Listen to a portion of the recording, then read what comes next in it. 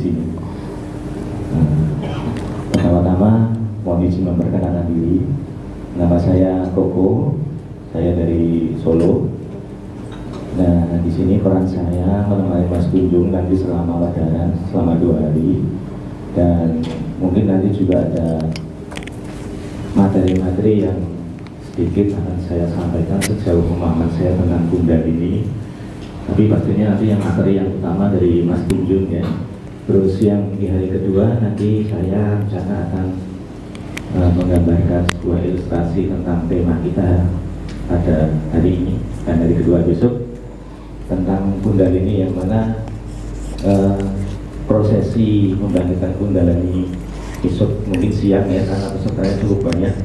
Kemarin di Semarang aja mulai jam 2 selesainya jam hampir maghrib peserta ada 30-an sekarang dua kali kayaknya berarti nanti ya, mulai siang tadi prosesinya. Nah saat prosesi itu nanti besok saya juga akan mengilustrasikan tentang energi kundalini yang yang terakumulasi pada saat uh, prosesi itu. Di mana nanti hasil dari sketsa itu uh, bisa menjadi semacam kenang-kenangan buat Bapak Ibu semua yang beruntung mendapatkannya supaya ketika uh, ilustrasi tentang Kundalini itu dipajang di rumah bisa menjadikan sebuah media atau majalah yang terang untuk kesadaran tentang Kundalini. Ya, begitu perkenalan dari saya. Selanjutnya monggo Mas Tunjuk. Rahayu Sagung Dumati uh, Matur Sembahun atas kehadiran saudara-saudara semua yang berkumpul di sini ya ini karena anda datang saya yakin ditipu di YouTube-nya Ngaji Roso nah sekarang saya akan malah memperparah saya akan menipu anda. Jadi di sini ini blegernya Mas Tunjung. Saya asli Magetan Jawa Timur. Nama saya Tunjung Dimas Bintoro. Di sini didapuk disuruh bercerita tentang apa itu kundalini dan jenengan semua sudah sekilas mendengarkan beberapa uh, guneman saya atau tutur saya karena saya menipu anda akhirnya anda kena hipnotis datang ke sini untuk benar-benar mau mendengarkan saya. Padahal di YouTube kan sudah ada tapi nggak apa-apa. Itu bukti bahwa anda masih bisa saya tipu. Nanti di sini kita bersama-sama kita berkumpul dengan wadah. Ya wadahnya adalah kasanah budaya atau spiritual. Terserah anda menamai apa. Yang jelas kita tidak bisa melekatinya karena kita sendiri sedang uh, ber bertransformasi menuju sesuatu yang sebenarnya kita ini siapa kan gitu ya. Jadi kita tidak berani melabeli siapa diri kita. Label-label atau identitas itu hanya temporari, bersifat sementara. Dan hari ini terima kasih saya kedatangan Pak Tejo itu sahabat saya dia pemiliknya kedai kopi Ranin kalau di Bogor bisa ngopi di tempatnya Pak Tejo itu beliau biasanya bawa satu lagi pulau kawan. Datang enggak Mas? Anton Wijonarno Pak Tejo? Datang. Itu itu itu yang saya tipu sejak dulu. Masih ikut terus. Sudah tahu saya tipu masih datang terus. Karena mungkin karena cinta ya karena saya mungkin karena cinta dan memang bisa saling terhubung.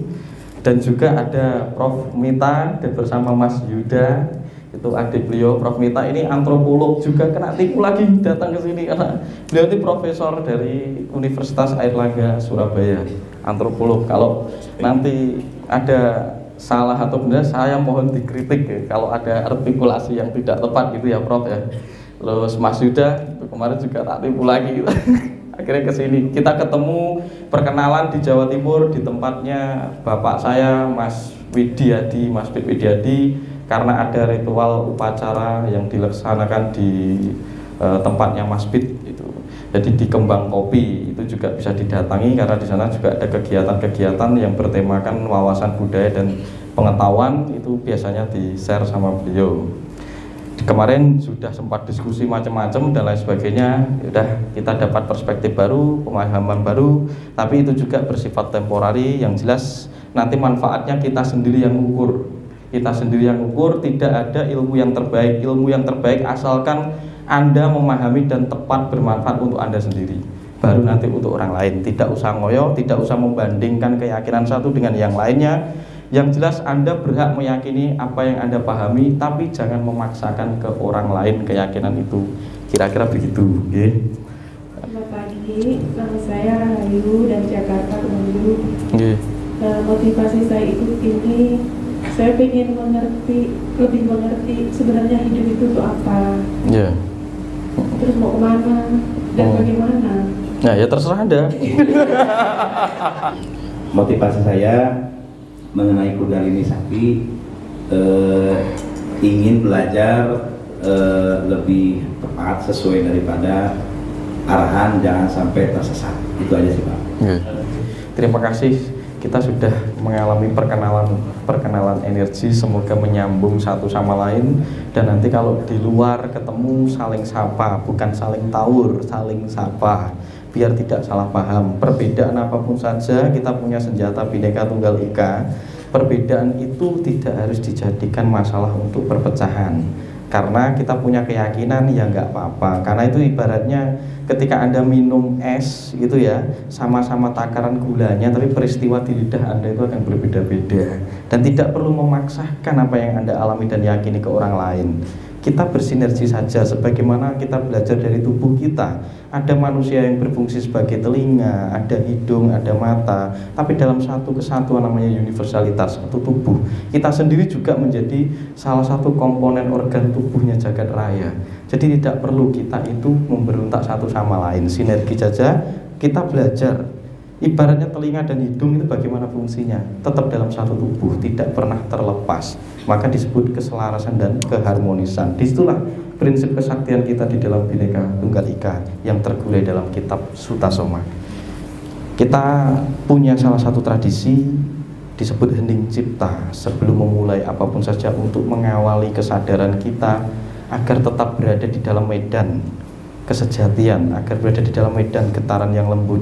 Dan semoga pemahaman itu terburai dari dalam diri Anda. Bukan karena saya yang mengajarkan Anda tapi karena ada yang mengizinkan di dalam diri Anda saya tidak pernah bisa memaksakan Anda memberikan pemahaman tingkat dewa sekalipun jika sesuatu di dalam Anda tidak terburai Anda tidak akan pernah tahu jadi pengetahuan itu bukan dari saya saya hanya fasilitas yang mungkin Anda pakai untuk mempertanyakan kegundahan, kebingungan Anda.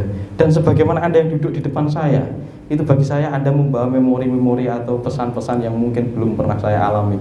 Karena satu pribadi itu saling merangkul dan memikul. Di situ ada kekurangan dan kelebihan yang harus kita ambil. Bisa jadi ada satu sisi pelajaran saya yang ada di dalam diri Anda masing-masing. Yang kebetulan ada pertemuan melalui energi kita mentransfer file. Ada file saya di dalam diri Anda, ada file Anda di dalam diri saya. Itu namanya tukar kawruh.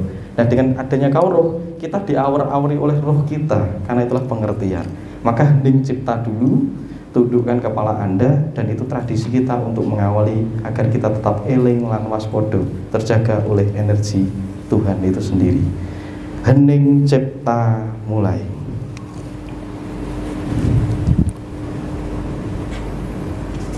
Hening cipta dibuat pungkasi. Ya. Oke, matur suwun kita kembalikan lagi jadi hening cipta ini salah satu warisan kekayaan tradisi kita. Kalau kita mau ngomong soal Jawa, soal Nusantara, Jawa itu sangat luas sekali. Kita tidak bisa menakar satu sisi. Jawa itu tergantung apa yang Anda pahami dan yakini. Karena Jawa itu jalan hidup. Ya, Jawa itu tidak bisa diagamakan. Itu jalan hidup. Ada versi Anda masing-masing. Dan nanti yang akan saya ulas itu adalah perspektif Jawa yang sudah saya olah sendiri. Karena ketika menjelaskan bahasa-bahasa kuno, saya sendiri juga tidak paham. Bahasa-bahasa kuno itu juga tidak paham. Tapi sedikit-sedikit saya menolak untuk tidak mau menjadi tidak sadar. Intinya adalah kesadaran. Inti dari Jawa itu jeru atau kesadaran. Kalau jiwa itu konsep Jawa yang sudah ketemu kepada pangroso panggonto atau konsep berpikir yang tepat baru melahirkan karya namanya Jawi.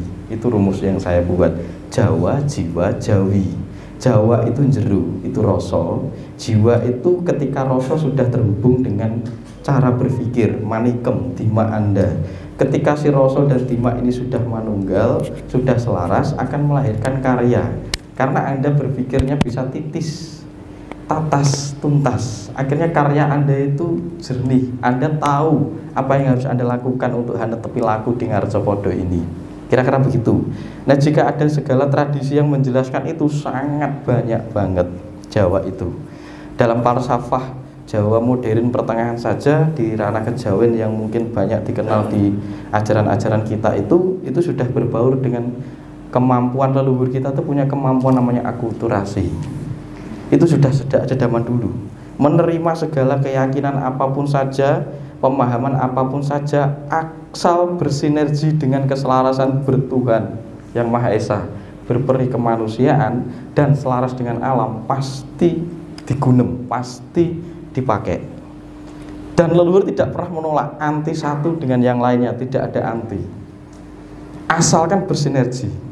Yang dianti adalah ketidaksadaran maka saya sendiri merumuskan bagi orang Jawa sendiri dosa itu ada tiga ada yang tahu di YouTube saya apa pernah ngulas satu ketika anda melakukan sesuatu secara ragu-ragu tidak iman tidak madep mantep itu membuat diri anda masuk di dalam penderitaan karena Anda bingung, ngambang.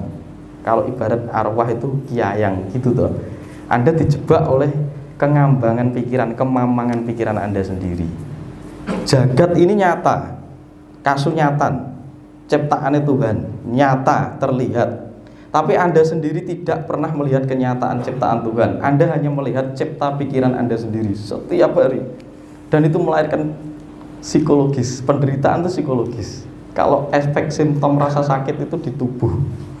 Dan sebenarnya kalau disuntik itu sebenarnya sudah tidak masalah, tapi karena sudah ada ketakutan dulu itu yang jadi masalah. Akhirnya Anda menderita dulu di dalam sebelum terjadi di luar. Maka kita ini sudah memenuhi isi kepala kita dengan jagat pikiran kita. Ini yang membuat diri kita tidak selaras dengan alam. Kita tidak pernah bisa mensyukuri kenyataan yang ada di luar diri kita. Karena kita sudah memenuhi cipta kita sendiri. Tapi tidak menutup kemungkinan karena Tuhan mewarisi cipta itu di dalam diri kita. Tapi kendalikan cipta itu agar Anda bisa melihat kasunyatan. Anda sering kali tidak melihat kasunyatan karena kepenuhan cipta Anda sendiri, pikiran Anda sendiri. Dan itu memenuhi kita setiap hari. Nah mari dengan seperti ini kita akan meruat, memberikan sirkulasi yang tepat agar tidak terpenuhi di dalam bayang-bayang kita. Maka kita ini terjebak di alam ajsam, alam angan-angan kita sendiri setiap hari setiap hari itu yang bikin kita menderita kira-kira begitu nah nanti saya ulas tentang kejawa ini saya meramu sendiri memasak sendiri bagaimana membuat mapping yang begitu mudah yang begitu praktis tidak menutup kemungkinan uh, ilmu Jawa itu memiliki kekayaan niskala kekayaan gaib karena kita tidak bisa terlepas dari tiga pengaruh satu okultis okultisme dua teosofi tiga teologi. Kita tidak pernah terlepas dari tiga pengaruh ini. Apa sih okultis itu? Anda memiliki kepercayaan tentang dunia magis, dunia gaib, mbahmu, leluhurmu, nyeloro kidul, Bung Karno, rohe teko nekani aku gitu kan, mendatangi saya dan sebagainya. Itu okultis, karena mempercayai ada energi di luar dirinya. Itu juga merupakan kekayaan niskala kita, kekayaan intelektual kita yang tidak diwujudkan menjadi rasional. Satu bisa dijadikan konsep pelestarian alam. Karena ketika tidak dikasih pepunden itu nggak kamu kasih, wah itu ada yang nunggu, ada mbahnya nanti bisa dirusak. Era pasca Majapahit lengser, kesadaran itu mengalami penurunan. Susah jelaskan ke orang karena karsian, kategan, kadewa guruan itu sudah tidak ada. Pasca Majapahit lengser. Nah, Kanjeng Sunan Kalijogo membuat niskala, kekayaan niskala diwujudkan dalam proses okultisme, diwujudkan dalam corak okultisme. Membuat peranan-peranan energi magis di luar diri sebagai konsep pelestarian alam. Kalau pepunden cagar alam itu tidak dikasih bla bla bla bla gitu kan, tidak ada dikasih yang menunggu, tidak dibentuk ada dahyang dan lain sebagainya gitu kan. Dahyang itu pasti rusak pasti ada vandalisme, pasti ada penjarahan peripeh. Peripeh itu emas yang ditanam di bawah candi sebagai syarat berdirinya candi untuk menjangkau gelombang energi di antah kirana. Antah kirana itu langit sapi itu. Itu bisa disebut sidratul muntaha mungkin gitu ya. Itu ada tantu yang ditanam oleh leluhur kita. Itu sejauh pemahaman saya. Nah, dan konsep okultisme ini juga digunakan untuk legitimasi kekuasaan aku ki putune bla bla bla bla aku didampingi bla bla bla kalau kamu tidak tunduk kepada saya kamu kena tulah dari kanjeng bla bla bla itu karena legitimasi kekuasaan pasca Majapahit lengser di era Mataram baru nah budaya okultisme ini jika dimasukkan ke dalam diri kita itu dibijaksanai sebagai konsep sedulur papat sedulur papat limo pancer apa itu? Itu konsep arah memahami navigasi ruang waktu yang akhirnya diwujudkan dari apa? Kalau Jawa modern itu ada namanya kakang kawah. Nah, kakang kawah itu wujudnya putih. Itu duduknya itu umanis. Legi itu ada di Etan timur. Ada di Es Etan timur. Itu wujudnya putih, manifestasi dari Dewi Sri. Itu kakang kawah kita. Kalau di dalam diri kita wujudnya mutmainah, air, elemen air. Dan nanti ngembang lagi cemeng, cemeng itu apa? Wagi. Wagi itu puser. Duduknya di udel Anda itu, itu daya untuk naluri Anda bertahan hidup mencari makan. Egoistis, pengen punya rumah, pengen punya mobil dan sebagainya dipengaruhi puser, udel. Makanya ego itu di udel itu. Makanya kendalikan udelmu. Kalau tidak kamu pasti serakah, apa pun kamu makan karena merasa lapar terus. Itu puser. Nah, terus adi ari-ari kuning. Kuning itu apa? Pon di barat. Yes. Duduknya ada di barat. Pon. Nah, pon itu warnanya kuning itu adi ari-ari. Itu daya apa? Daya untuk mencercapi naluri pengetahuan anda ingin hasrat mengetahui, Mas aku ingin belajar, aku ingin belajar mengenal jati diri, keinginan, atensi berlebihan. Nah atensi ini akan akan membuat Anda bingung. Karena Anda lupa bahwa manusia itu hanya butuh, bukan ingin. Kalau dipenuhi keinginan mesti celaka. Walaupun hanya keinginan pengetahuan juga celaka. Jangan memaksakan untuk mengetahui sesuatu. Ketika kamu belum siap malah jadi masalah.